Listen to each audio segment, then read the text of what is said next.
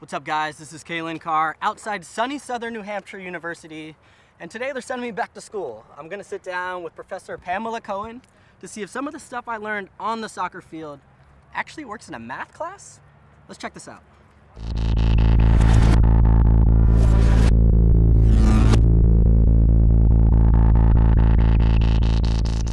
So I've heard that you've said your goal is to demystify math for your students. You may have your hands full with me today. uh, what does that mean though? I really think that it's just building self-confidence and having students believe that they can do it, and then they can. So what different disciplines of math apply to soccer? There's math all over the place in soccer. There's lots of geometry with the shape of the field and the shape of the ball. There's physics involved and calculus and vectors in the flight of the ball and the path of the ball uh, it, it, gets pretty complicated pretty quickly. okay, well, we'll steer clear of the vectors and the, the calculus for today.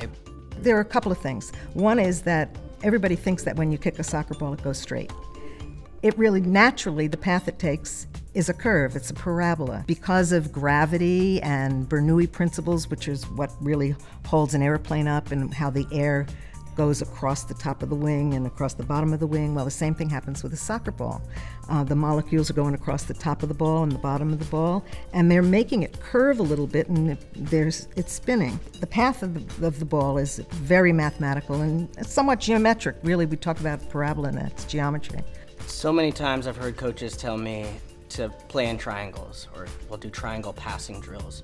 What is it about triangles that are so fundamental to soccer? Well, in geometry, triangles are very rigid shapes. They use that term rigid because they don't collapse and they, they stand up and I, I guess maybe like a defensive, kind of like a castle defending itself against enemies. So if you move forward or backwards in that triangular form, you can't break through those, those lines as opposed to being straight across or a, a, square formation.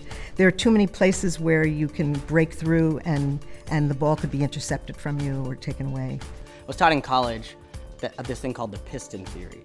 When one player steps up to confront an attacker, the other player is supposed to drop back and provide cover.